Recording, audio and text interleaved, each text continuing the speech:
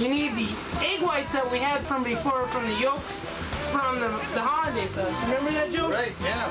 Okay, now we're gonna do the the um, meringue. So you just uh, push this on here. Whoa, too fast. Have to Too fast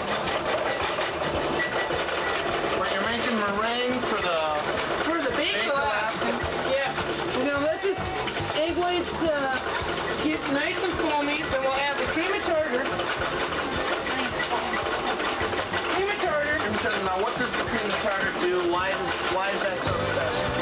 That to help bind the yolks together and it gives it flavor. And we'll add the sugar and rum to it. Okay. What kind of rum is that? Bacardi rum. Generic. No, we don't drink Cream of tartar. You gotta have that stuff. Okay, Joe, I can make this portable, so I might,